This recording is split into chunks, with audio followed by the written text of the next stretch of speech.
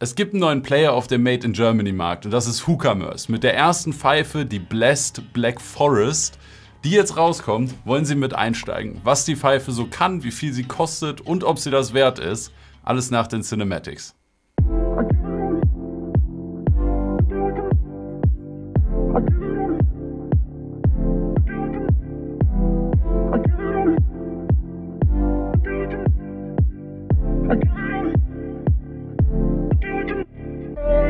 Bye.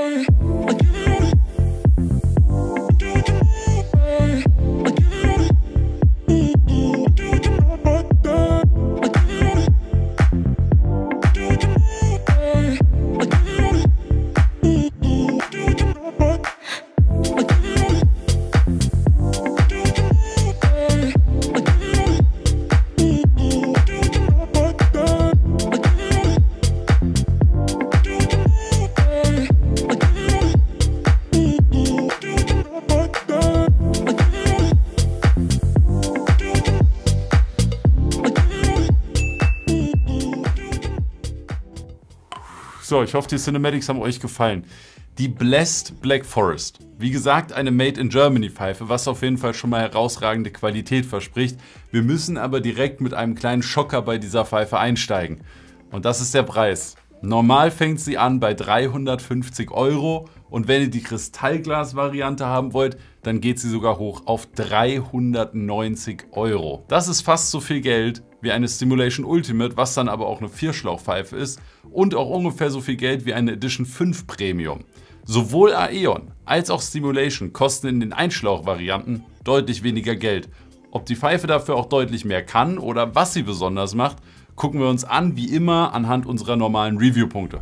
Verarbeitung und Qualität, Optik und Design, Rauchverhalten und das alles nochmal zusammengefasst in ein finales Fazit am Ende. Man muss fairerweise dazu sagen, dass die Pfeife im Moment im Angebot ist. Schon eine geraume Zeit und ich weiß nicht wie lange noch, aber immerhin ist sie aktuell ein bisschen günstiger. Die günstigsten Modelle gehen aktuell los bei 285 Euro und wenn ihr das Kristallglas nicht vermissen wollt, dann müsst ihr trotzdem 320 bezahlen. Also man kann ein paar Euro sparen und da es den Angebotspreis jetzt schon ein bisschen länger gibt, würde ich fast sagen, ist das der normale neue Preis. Also würde ich auch alles, was Preis-Leistung angeht, mit diesem Preis berechnen. Normal fangen wir an mit Qualität, Verarbeitung und Materialien. Das würde ich aber gern bei der Pfeife relativ kurz halten. Wobei es trotzdem einen wichtigen Punkt gibt.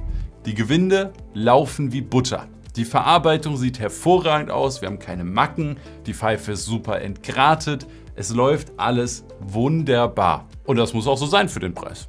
Und deswegen kann man Verarbeitung, Qualität und Materialien relativ schnell abhaken. V2A, V4A, Edelstahl. Wir haben in meinem Fall super schönes Kristallglas. Die Gewinde laufen, die Gewinde sind super geschnitten, der Teller ist wunderbar entgratet, also da passt alles 1A. Und in dieser Kategorie kann sich die Pfeife easy mit Stimulation und Aeon messen. Ich würde sagen, die ist auf demselben Niveau. Ihr seht übrigens auch noch, dass hier noch ein paar Teile extra nebendran liegen. Das ist relativ wichtig, weil die Pfeife kann man ein bisschen umbauen.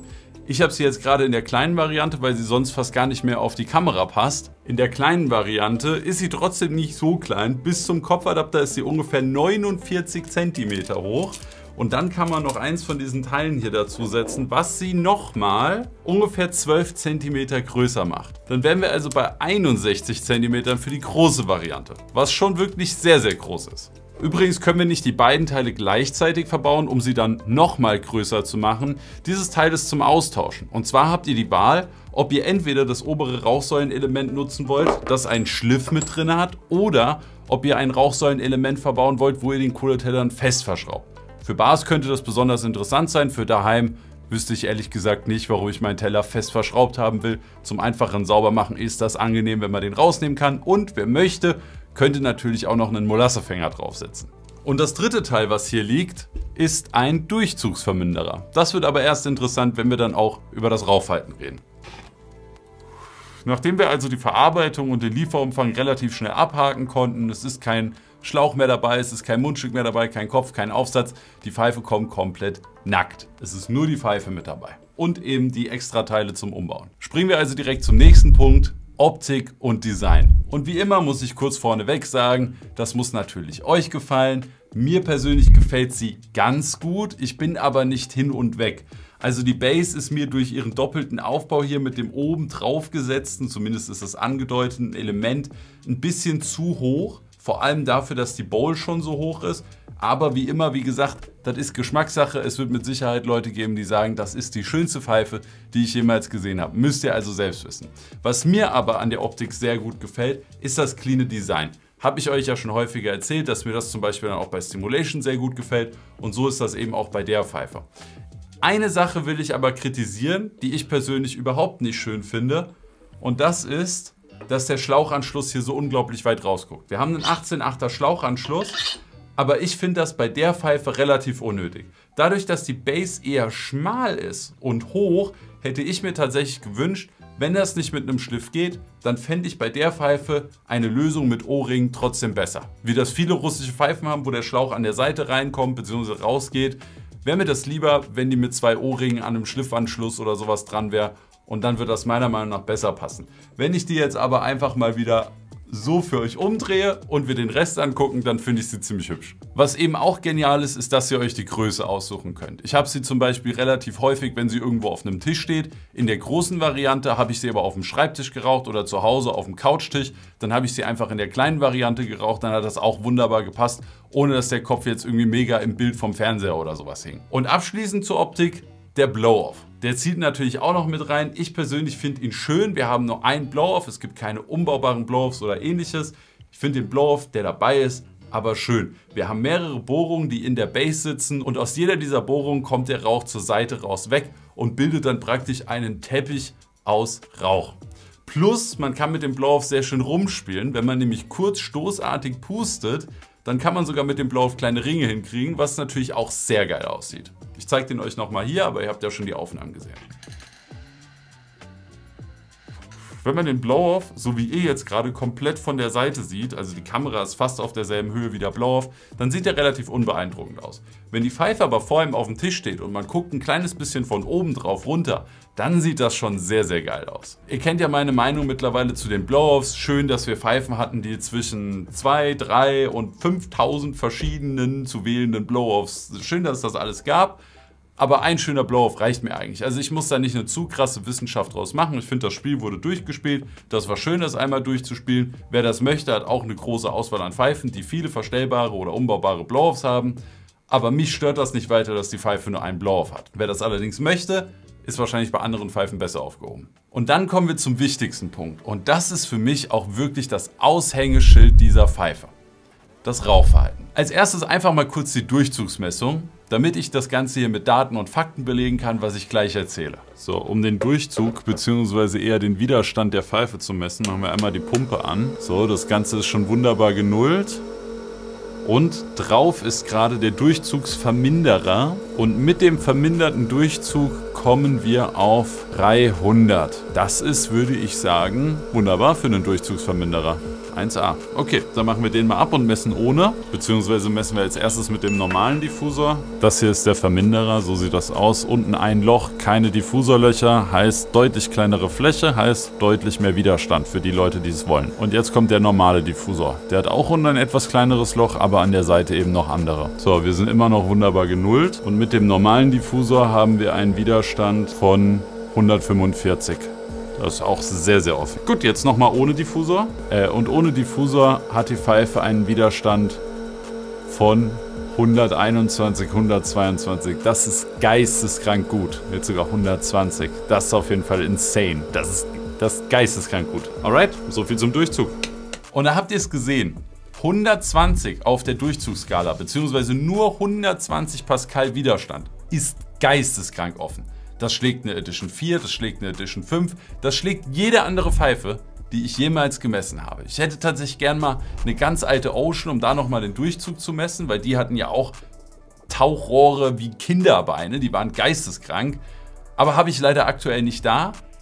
Aber von allen modernen Pfeifen, die ich bis jetzt mit dem Durchzugsmessgerät gemessen habe, ist das hier schlicht und ergreifend die bessere. Das heißt, wenn ihr sagt, ich will eine Pfeife kaufen, die den besten Durchzug hat, den ich nur haben kann, oder den leichtesten. Wie gut ein Durchzug ist, ist ja immer Geschmackssache. Manche mögen das strenger, manche mögen es offener. Was ich aber eben meinte ist, mit gutem Durchzug ein sehr offener Durchzug. Also wenn ihr fast keinen Widerstand mehr haben wollt beim Ziehen, dann ist diese Pfeife die beste, die ihr kaufen könnt. Schlicht und ergreifend. Und das gepaart mit einer coolen Optik und vor allem einer herausragenden Fertigungsqualität, die wahrscheinlich länger leben wird als wir, wenn man die halbwegs pflegt, ist schon sehr beeindruckend. Wer aber jetzt sagt, eigentlich finde ich die Pfeife wunderschön, aber ich will gar nicht so einen krassen Durchzug oder vielleicht will ich auch mal einen Mehrlochkopf drauf rauchen und dann will ich gar nicht so einen kranken Durchzug, hat Hooker Mörs dran gedacht. Und zwar gibt es dieses kleine Teil hier, das aussieht wie ein anschraubbarer Diffusor, allerdings ist da nur ein kleines Loch unten in der Mitte. Und wenn ihr den dran baut, dann habt ihr nicht mehr nur 120 Pascal Widerstand, sondern 300 Pascal Widerstand. Das ist immer noch relativ leichtgängig, das ist aber definitiv ein Bereich, wo ich sagen würde, jetzt kann man sehr, sehr angenehm mit einem Mehrlochkopf rauchen. Das heißt, die Pfeife kann groß sein, kann klein sein, kann für einen Funnel sehr gut sein mit einem sehr offenen Durchzug, kann aber auch für einen Mehrlochkopf sehr gut sein, wenn ihr noch dieses Teil dran baut. Einziger kleiner Nachteil, wenn ihr den Durchzugsverminderer anschraubt, könnt ihr keinen Diffusor mehr benutzen. Das ist meiner Meinung nach nur eine Kleinigkeit. Und speaking of Diffusor, ich habe euch noch zwei Aufnahmen gemacht. Einmal der Sound ohne Diffusor und einmal der Sound mit Diffusor. So, Test wie die Pfeife klingt. Einmal ohne Diffusor.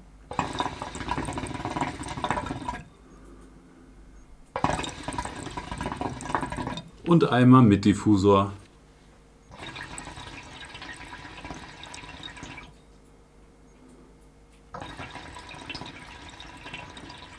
Ja, habt ihr gehört? Müsst ihr natürlich einfach selbst sagen, was ihr dazu denkt. Für mich persönlich ohne Diffusor schönes, kerniges, volles Blubbern und mit dem Diffusor fast keine Geräusche mehr, also praktisch perfekt, um dabei noch einen Film zu gucken. Meiner Meinung nach sollte das genau so sein. Ohne Diffusor richtig gutes Blubbern und ordentlich lauter Krach und mit dem Diffusor nahezu lautlos, sodass man die Pfeife nicht hört, falls man Musik hören möchte, Filme gucken will oder irgendwie sowas in die Richtung. Zusammenfassung vom Rauchverhalten, geisteskrank offener Durchzug, wenn man es will, angenehmer Durchzug auch für Mehrlochköpfe, wenn man es möchte. Der Diffusor ist geisteskrank leise und macht die Pfeife super smooth. Bei mir wie gesagt gerade die kleine Variante und ich habe den Diffusor dran. Es zieht sich wirklich butterweich. Also Diffusor auch absolut hervorragend. Und nicht nur der Durchzug kann super offen sein, wenn man das möchte, auch der Blow-Off ist unglaublich leichtgängig. Da sind relativ große Kugeln verbaut. Es sind zwar nur drei Kanäle an Kugeln, die wir unten haben, aber die sind anscheinend mehr als groß genug, sodass man da ordentlich Rauch durchballern kann, wenn man das möchte. Man kann natürlich auch leichter pusten, dann kommt der Rauch etwas langsamer raus. Aber wer das will, kann da richtig reinballern und man muss sich keinen Kopf machen, dass irgendwie der Kopf geflutet wird. Kommen wir also zu der Zusammenfassung am Ende. Wir haben eine Pfeife, die schon sehr, sehr teuer ist. Dafür aber auch eine unglaublich gute Fertigungsqualität hat und ein unglaublich geiles Rauchverhalten hat. Meiner Meinung nach. Das einzige, wo ich mich mit der Pfeife nicht perfekt anfreunden kann, wäre die Optik. Ich finde sie zwar schön, aber wenn ich mir überlege, was ich mir für über 300 Euro oder ungefähr 300 Euro alles kaufen kann, dann würde mir auf jeden Fall eine Menge an Pfeifen einfallen, die ich noch schöner finde. Wie gesagt, wenn ich nur was an der Optik aussetzen kann, dann ist das wirklich mein kleinstes Problem, weil das ist wie gesagt Geschmackssache. Wenn jetzt von euch jemandem die Pfeife gefällt, kann ich sagen, Qualität ist geisteskrank, Rauchverhalten ist geisteskrank. Wenn euch die gefällt und ihr so viel Geld für eine Shisha ausgeben wollt, weil 300 Euro ist wirklich nicht wenig Geld, dann kann man das auf jeden Fall machen. Wenn euch irgendwas an der Pfeife stört, würde ich wahrscheinlich vorsichtig sein, so viel Geld dafür auszugeben. Alles in allem ein neuer Player auf dem Made in Germany Markt finde ich sehr, sehr geil. Es gibt nicht so viele Made in Germany Pfeifen und da ist es halt sehr schön, jemanden zu sehen, der eine Shisha bauen will, die mit hervorragender Qualität kommt und zwar so guter Qualität, dass ich mir sicher bin, dass die Pfeife länger leben wird als wir, wenn wir die ordentlich putzen und reinigen. Die Möglichkeiten, die Pfeife sowohl groß als auch klein, als auch laut wie leise und mit sehr offenem Durchzug und sehr geschlossenem Durchzug zu rauchen, ist ein geiles Gesamtpaket. Ob das 300 Euro wert ist, müsst am Ende des Tages ihr wissen. Aber ich bin happy, dass ich eine da habe. Lasst mich gerne eure Gedanken zu der Pfeife unten in den Kommentaren wissen. Daumen nach oben und Abo da lassen, wenn es euch gefallen hat. Und dann bis zum nächsten Mal, eure Shisha WG.